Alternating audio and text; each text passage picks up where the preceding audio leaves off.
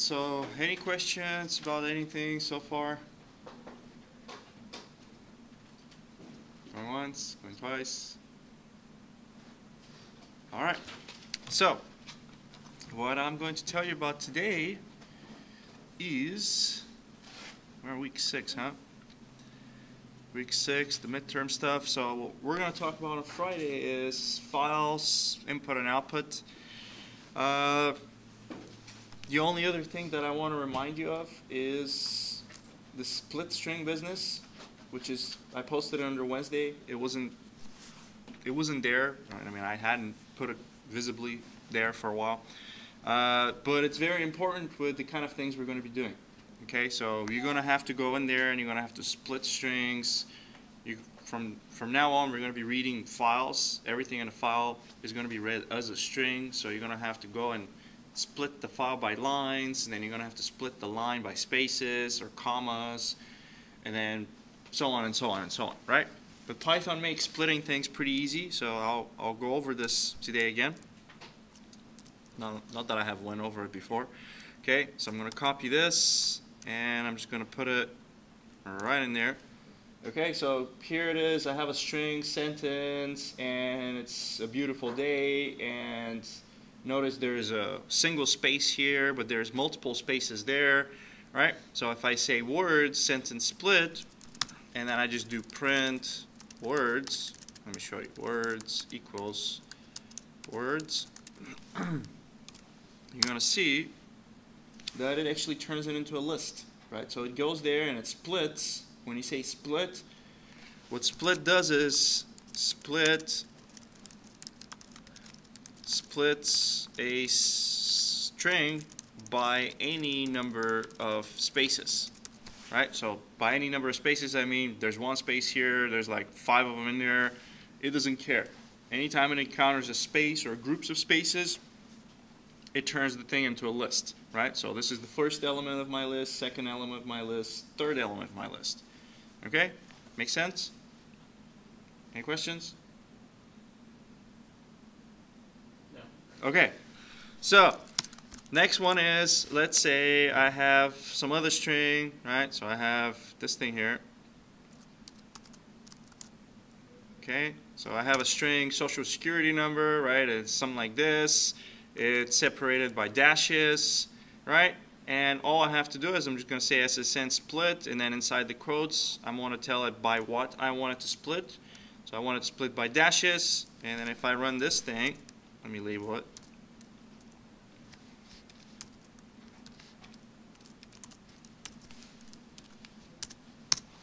Right? Then you're going to see that it turns this thing now into a list again. Right? So you can tell it by what to split. Okay, just be careful when you're splitting. Don't do something like this, right? If I did it, if I did it like that, then it will look for a single space only. Okay, so normally there's never really a call for you to be splitting like this unless you know exactly what the sentence is going to be, I guess. So just split by any number of spaces like that. Okay, don't put quotes in there with a space in between. Okay, and there's another example I have in there, which is basically same thing, but now we have dashes. All right, if I get this thing, paste it in there, run it in there, all right, you're going to see that it, now it splits it by dashes. Okay, so it's a pretty easy way to break a big string into little substrings, put them in a list. Okay? All right. So this is the kind of stuff you're going to be doing for your files. All right. So this is uh, just splitting strings. Splitting strings will be used uh, when reading files. Okay? So, and you have some fun assignments later on. There's one where you're supposed to do a brute force cracking a password. All right, so let me go back to, and I've put those on the last week, I think, week eight. Uh, no, that's not it. Previous week, maybe.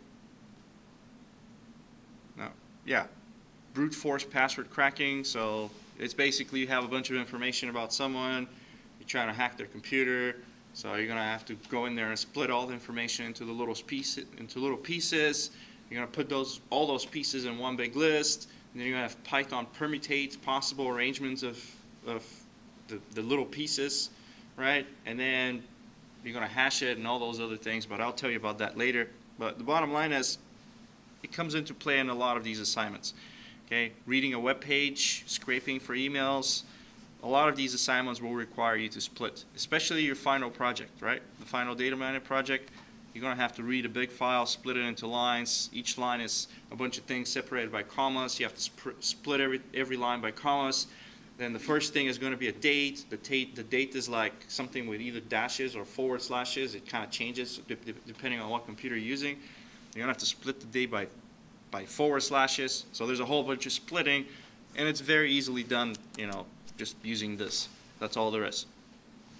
Anyway, so now let's talk about files. right? files, input, and output.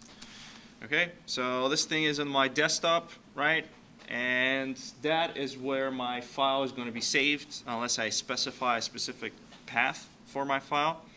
So let me go back to the week six, right, and look at the file input and output, right? You're going to see in there uh, I'm going to start with this one on top.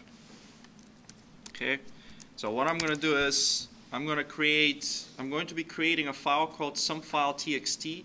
That file does not exist, right? I can go to my desktop, right? And you're going to see that, well, even if I arrange this thing by date or whatever, there's no, there's no file, uh, sumfile.txt, right? It just doesn't exist. It's not in there. All right? So, the bottom line is, if the file does not exist, we're going to create it. So that's okay. You can create it. You can create that file.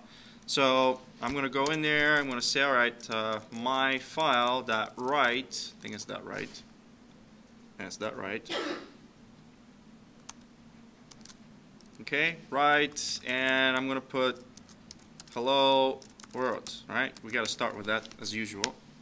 Run that thing. Actually, Let's just run it like this to see what happens. Okay, and if you notice right here, it created the file, some file txt, and there's nothing in the file actually. Okay, why is that? Because I created the file, I wrote something in it, but I never saved the file. How am I going to save the file? My file dot close. Right, closing saves the file. Okay, if you don't save your file, there's not, there's not going to be anything in the file. So if I run this thing now again, go back, look at this thing, and there's your hello world again. Or now, now you see a hello world. Okay? So far so good? Pretty basic? All right. So now, before I close the file, why don't I do this? I'm going to say, all right, hello space, and I'm going to do my file write, and then there, right? Let's have a look at this. And I'm going to go look at the file again. Same thing, right? So putting these things on two separate lines does not insert a new line, right? It's not like the print. Whenever you did a print, it automatically inserts a new line. That's not how write works. If you want to insert a new line, backslash n, right? Run this thing. Go look at the file, and there it is. Now it's on two, two separate lines. Make sense? So nothing different, well, tiny little differences compared to, you know, writing, I mean, doing a print. Okay? The way the write works is similar to how the input works, right? So I can go in there and try to do this kind of stuff. So let's say I'm going to do a new line here, and I'm going to put, I want to do something like this, like 3 plus 3 is equal to, and then in here I'm going to do 3 plus 3, just like that. Alright, let's see if that works. I want to try it. Nope. And what is it telling me? It's telling me write takes exactly one argument two given. Does that sound familiar? Which, which, what else gave you that error message? More than one strings Input, right? Whenever you do an input and you do something like this, it will give you that exact kind of an error message to tell you input takes exactly one argument, two given. So what do we do to fix it? str. Okay, good. So I'll do plus, right, str, And now let's try it again. F5. No error. Go look at the file. Now we should open it again. There is. 3 plus 3 is equal to 6. Okay? Uh, if I try to do, well, you already know that, yeah, you have to do str. So writing to a file, let's do another one. Let me do, uh, let me show you another one that's not going to work. So this, and I'm going to put a new line at the end, plus, quote, quote, backslash n, right? And here I'm just going to say 10, just like that. Okay, just so you can see that error also. Okay, and the error now is must be str, not int. You know what that means, right? How do I fix it? Tells you how to fix it. What's that? How do I turn it into a string? Str, right? So let's say it's some variable, right? You have num is equal to 100, right? Plus, quote, quote, let's do a new line. Right, num is equal to 100. If I wanted to write this thing, right, I can't, I can't do it any other way other than just doing this. Okay? Run this again. And have a look at it. And there it is. There's your 100 in there also. Okay?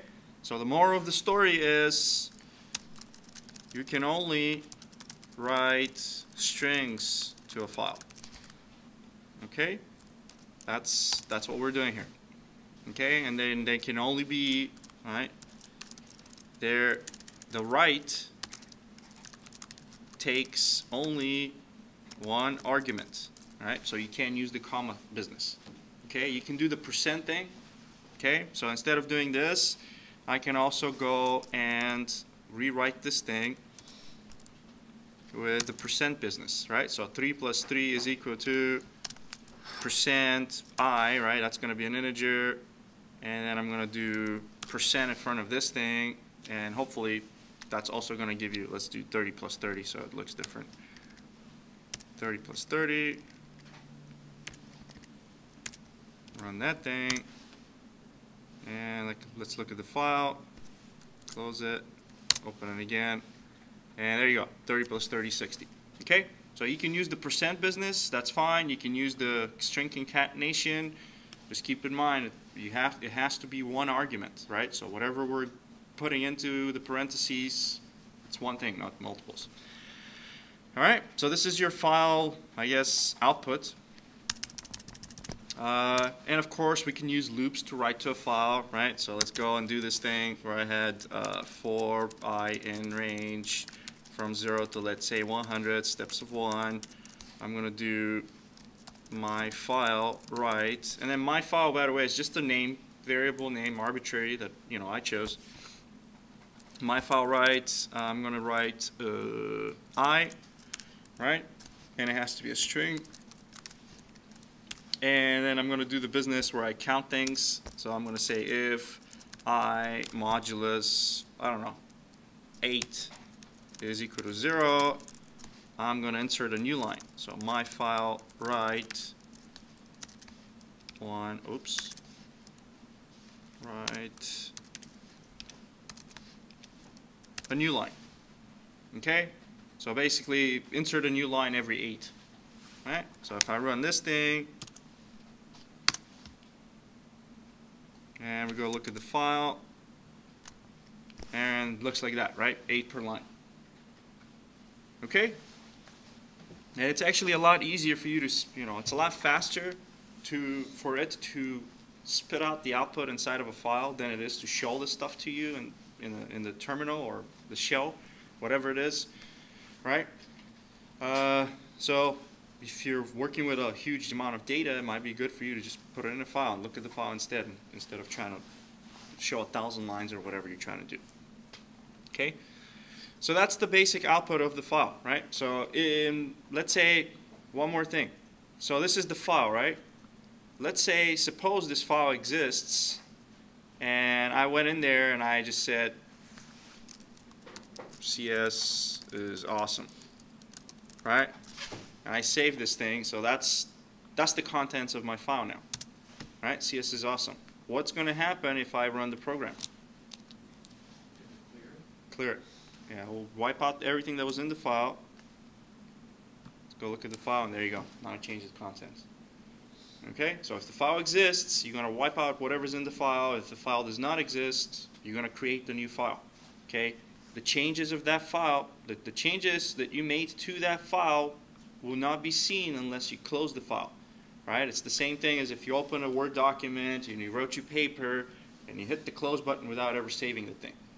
Right? It's not going to be a Word document. And that's what happens if you don't, you know, well, there's going to be a Word document, but there's not going to be anything in it. Okay? So, got to close the file if you want to save the changes. All right, so now the next thing that I'm going to do is, in fact, why don't I write this thing with a little commas in between? Uh, plus, eh, I'll put spaces. Okay?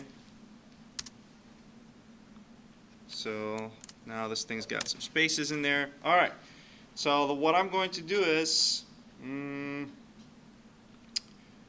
I'm going to go read that file now. Okay, so it's pretty much very, very similar format to how you write to a file. So this is file input. Okay, what I'm going to do is I'm going to grab just this thing, because I don't want to write it again, and then paste it. And this time I'm going to change this thing to R. So instead of W, R. Okay, so I'm reading the file. So this is open the file, open some file txt for writing. Okay, if the file exists, you will erase the contents. Right? If the file does not exist, you will create it. Okay? So that's that. Okay, now this one here, I'm actually going to start it wrong to begin with. So let's say I'm trying to open some file that doesn't exist, right? So I'm going there, I'm adding the number one towards the end of the file name because there isn't such a file name. And let's have a look at what it does. Oops. No such file or directory some file one txt, right? So if the file does not exist, the file has to exist if you want to open it. Okay? Make sense? All right. So I'm going to go back, change the name, right? Open some file, blah, blah, blah, and it has to be the same business. I'm just going to call this my file again. My file is equal to open, right? I'm opening this thing. And then what I'm going to do is I'm going to read first the whole file. So uh, file as string is equal to my file read, just like that. Okay, and I'm going to go and just do print file as string. All right.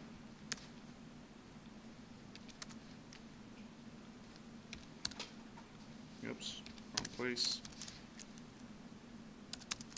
Right, so it's going to read the whole file as a string. It's going to put it in this uh, in this variable, and then I'm going to show you the variable, and you're going to see in the shell window that there it is. Right, the whole thing is one big string. Okay, that's one way to read a file, and you're not really well. It's okay for you to read a file like that, but most of the times there's going to be more than one line in the file, so you would want to split it by lines. Okay, so then you can only do it one way or another, right? So you can't read it as a string and then go and read it again as, you know, something else. Okay, so that's why I'm commenting this out. And now I'm going to change this to file as list of lines. Okay, and I'm going to go in there and do split lines. I think it's split lines. And I'm going to show you what that is. Alright. Run it, and there you go. So what is it doing? It goes in there, right? This is the file, and the first line is the hello, so that's this. The second line is the world, that's this. Third line is 3 plus 3 is, is equal to 6, that's this, right? So every line becomes an element of this list. Make sense? Any questions? Pretty basic. All right. So now let's say I want to go and I'm going to split. Um, by the way, I can figure out how many how many numbers, how many lines there are, right? All right. Print. There are len. Right. Lines. Right. And let's have a look at it. All right. There are 20 lines. Okay. So what I want to do is I'm going to go 0, 1, 2, 3, 4, 5, 6, 7, right? I'm going to start at line 7, right? I'm going to split this thing by spaces, okay? So I'm going to tell it, uh, go to, let's do this. Split uh, line 7 by spaces. And when you, and this is basically something that you should be doing for when you do the data mining, when you're reading a data from a file, show yourself what you're working with. Because I think it should be line 7, but I don't know, and it's very easy for me to just show myself what's line 7. So print uh, file list of lines 6, right? So 6 is supposed to be the seventh line is equal to, and then I'm going to copy this, there, run it, uh, files list of strings six. So I got the wrong one. Okay, six. I got to go one more. Let's go to the seven. So this is, I guess, line eight. All right, seven, because I don't want to look at the zero. Check again. All right, there you go. So I got one of this, one of these lines that have a bunch of numbers with separated by spaces, which is what I did deliberately when I started doing this. So now what I'm going to do is uh, split line 8 by spaces, so this is show line 8, right? Show line 8. And the next thing I'm going to do is I'm going to say something like line uh, items or something like that is equal to this line.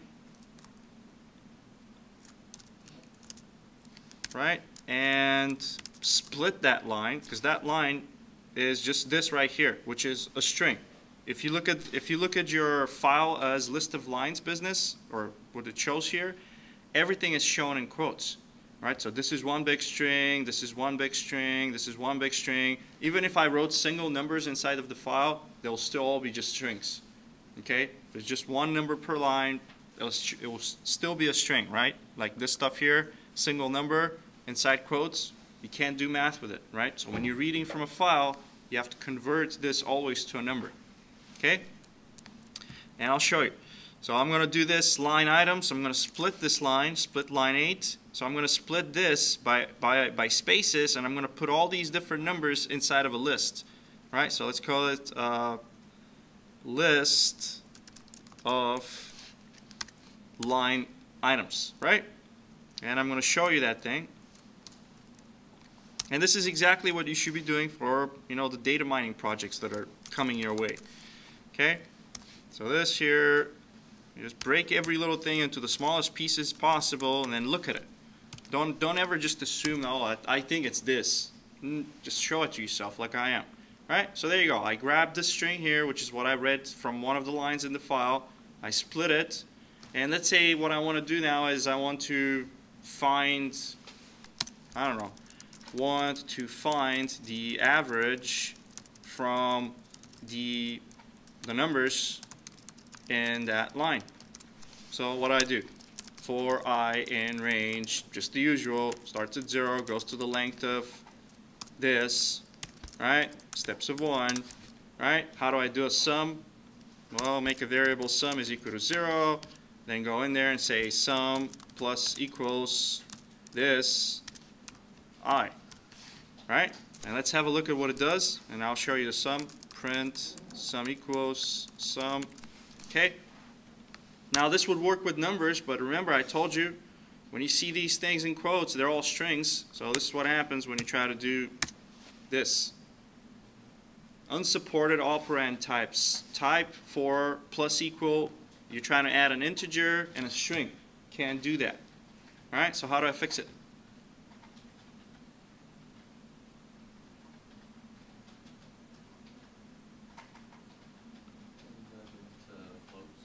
Okay, I can turn them into floats.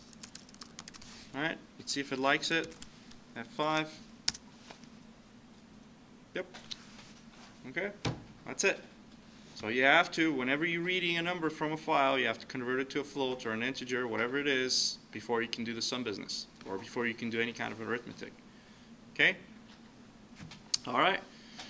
Uh, how would I do it for the rest of these lines? Let's say I want to do the, let's do, I want to do average, all right? Print average is equal to sum divided by uh, the length of list list of line items. Does that make sense? I hope so. All right, here's the average now. Okay. Uh, let's, say I want to do it for all the lines. I don't want to do it just for this line. I want to do it for all the other lines too. Okay, that's why I wanted to do like figure out how to do it for one line, right? This is one line only, right? So this is, that's the one line, and it goes all the way down to here. Okay? So now I want to do it for a bunch of lines. So what I'm going to do is, I'm going to grab this thing here. This is the one. Alright? So do this for lines, I don't know how many lines I got, 20 lines. So for lines 8 through 20, do, th do this for lines 8 through 20, okay? And what I'm going to do is I'm going to paste this here, right? So that's starting at line 8. Instead of 7, what I'm going to do is I'm going to say, all right, for, let's go with J, in range from 8 to 21, because I wanted to go to 20. Uh, and in fact, I can just go, uh, where's this thing? This. All right, let's say I don't know how many lines I have, right? File as list of lines, go to the end of it, steps of one, uh, and then I grab this thing here, tab it, change the 7 to J. Now this thing is going to work for every line. And then the rest of it is going to be pretty much, you know, the same. I can just crop this, copy it, paste it in there, make sure I fix my indentation. Alright. Alright. And that's it. Print. Any questions? Let's try it.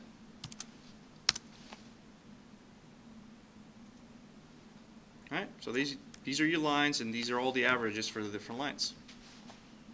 Okay? So this is the kind of stuff that you're going to be doing for your data mining projects. The process is you do it for one line, you split the line as, into the little pieces as, as the smallest pieces possible, and then just gradually start, you know, building on top of that. Okay? You're not going to be able to solve the data mining project all at once. There's 1,200 lines or something in it, right? If as soon as you start looking at those 1,200 lines, you just you're you're going to hit a wall. It's just too much information. It's going to get it's it's going to overwhelm you. So what you got to do is, and let me show you. So basically, at this point now, you pretty much know everything that I wanted to teach you in this class. Right, these are all the basics, files, input, output, all that good stuff. Okay, uh, so what do you have to do? Uh, the assignments for files, week six. All right, so you have one that is, uh, talks about sunspots. All right, so the sunspots, you have the file given here, right? Download the file, right? Make sure you download it don't just copy paste this thing because it might introduce some extra formatting. right? so download the text file. What is the text file? I don't even remember. Oh, it's some uh, sunspots readings, right, for the different years from year 1945 to 2008. I don't know how many years that is, right? Uh, what you have to do is you have to go and you have to average the numbers in each line. So you go in there, read each line the way I showed you, split it into pieces, put all the pieces together, sum them up, figure out the average. Okay, the only trick here is that you have an extra little thing in the beginning, which is the year, so you have to exclude that from the average. Right? Basic stuff, if you understood what I just told you. Okay, And then there's going to be a bunch of averages. You're going to write them to a file. The, average, the, the averages themselves will be written to a file uh, called averages txt, right? You got to submit both of these files, right? And I'm showing you what the first, the average for the first year is supposed to be, right? You can go, it's a good practice for you to go in there and write this, you know, put, put this, put these numbers in like an Excel file or something and verify the actual numbers, okay? Because you will have to do that for the next one. So the next one, let's go to the files, input and output and median. Okay.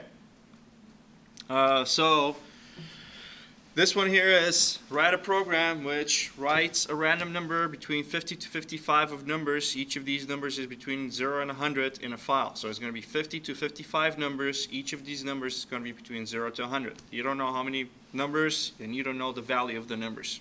Okay? What your program is supposed to do, right? What your program is going to do is it's going to calculate the median. Alright, so let's see. So first you're going to write all these files to a file, numbers to a file, then open the file, read the numbers from them into a list. You know how to do that, right? You can write them on a separate line, each number. You can put them all on the same line, separated by spaces. Either way works. Okay? Then you have to sort this thing and show the list, right? You can't use Python built-in functions such as sort, sorted, sum, none of these, right? Just the usual. Don't get to use any of them. You got to write them all yourself. Okay? So it's going to be a, a, random list of numbers in random order. The first thing you need to do is you need to sort the list, right? And then you can calculate the median. Okay? What's the median?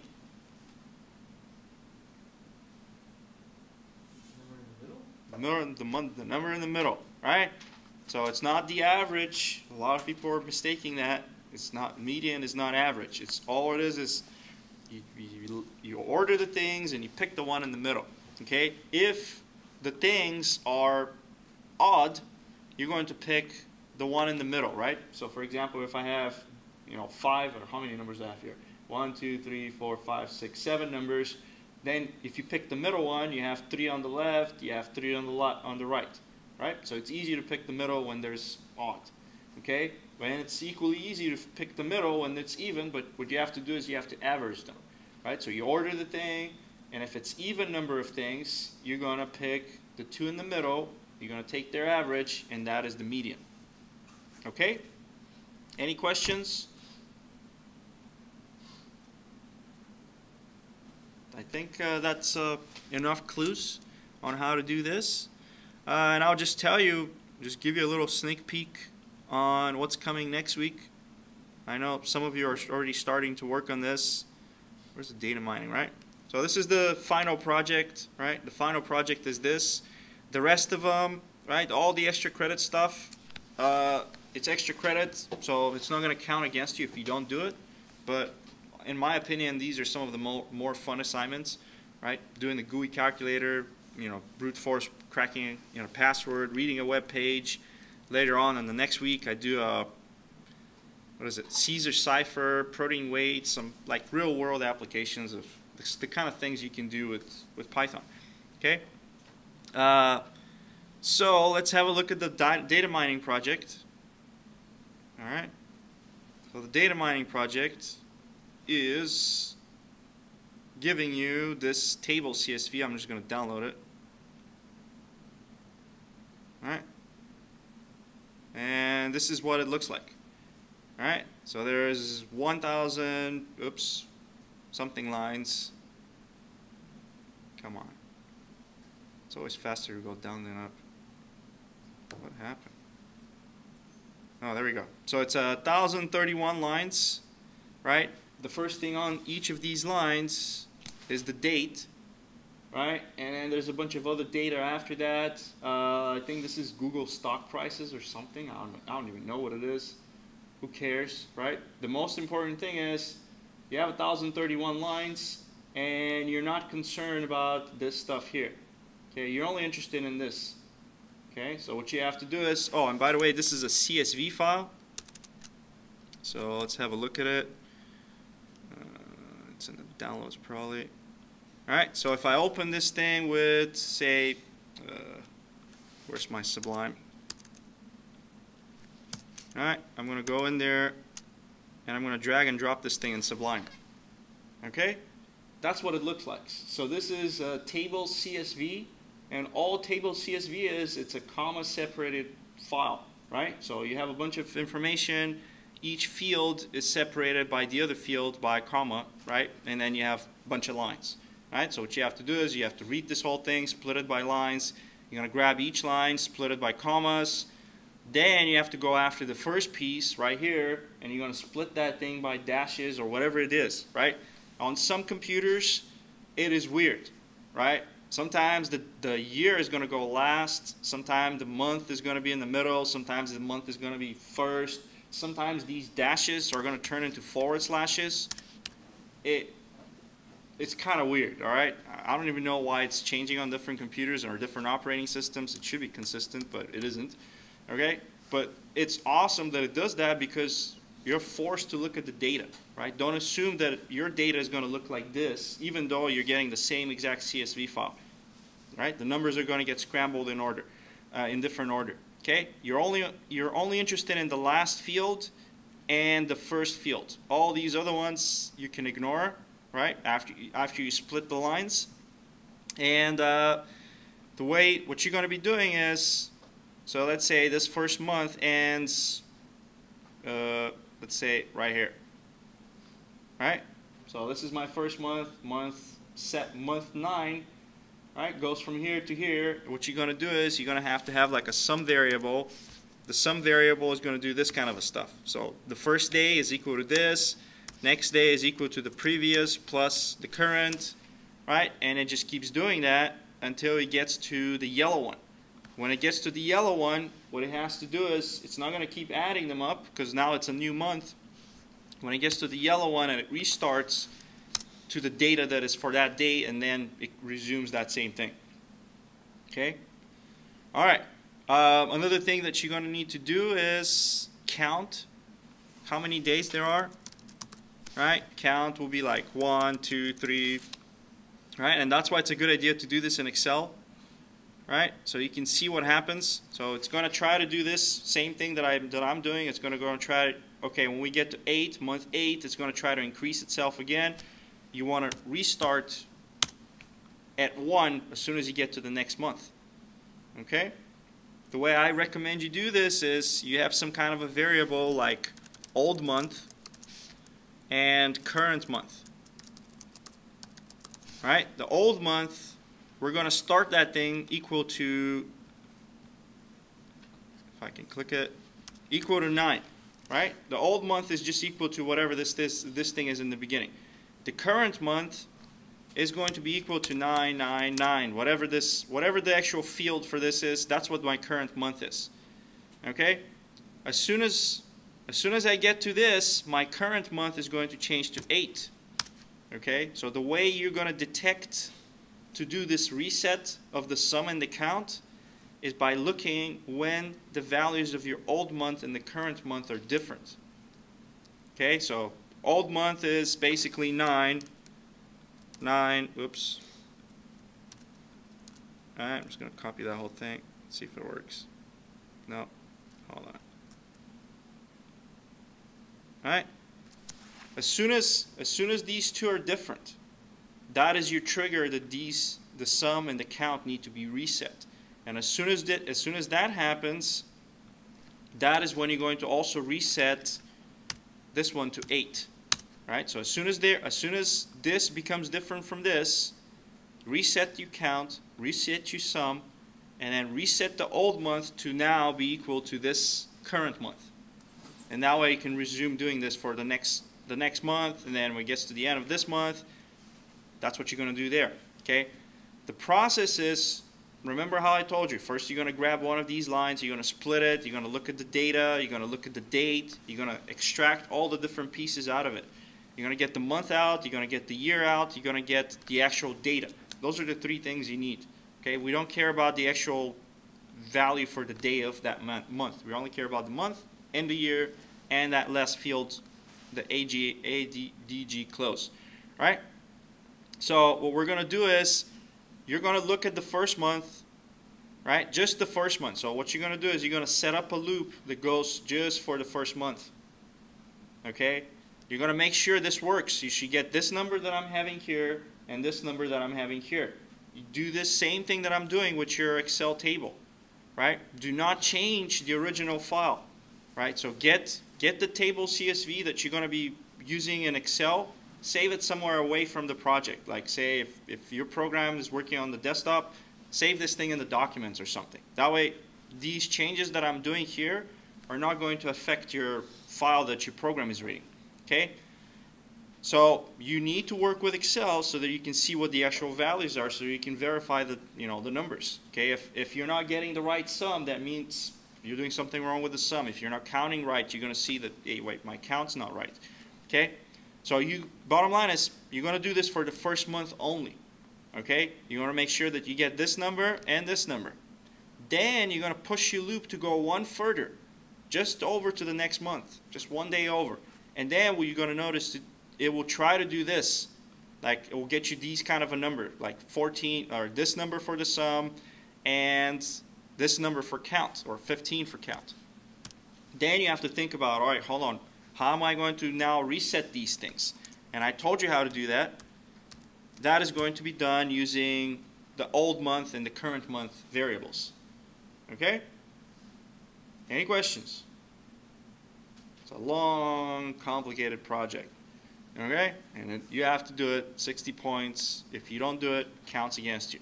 Okay? There's no final exam. This is your final project. That's basically for the final exam. Okay? Questions? Let me know if you have them, when you have them, and I'm going to upload uh, today's lectures, lecture notes, and the video in a minute. Okay?